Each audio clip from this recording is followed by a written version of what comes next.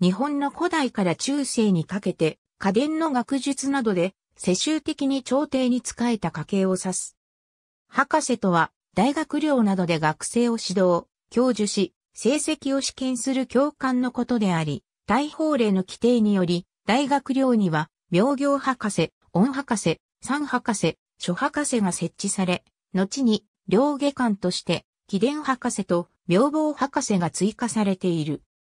陰陽寮にも、陰陽博士、天文博士、歴博士、牢国博士、天薬寮にも、医博士、針博士、呪言博士などが設置されているが、平安時代になり、律令制が主観、変質するにつれ、延期年間に、菅原道真、三好清行、大江恩人などが、高位交換に上ったように、文章博士の地位が向上してくるようになった。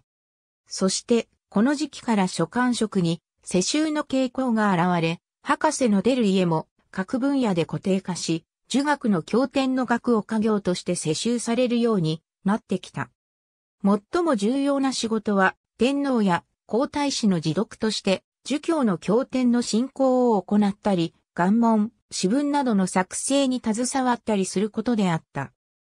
鎌倉時代末期に禅宗とともに、総学、朱子学が日本に伝来するようになってからは、四書に関して部分的に朱子の新中を採用し、新旧の折衷を図る試みも現れてきたが、どちらかといえば宮中を重視するものであった。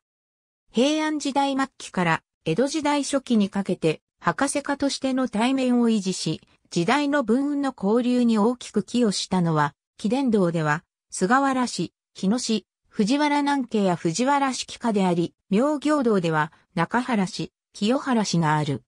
時代とともに、博士科の学問は柔軟さを失って衰退し、その存在の意義も薄れていった。ありがとうございます。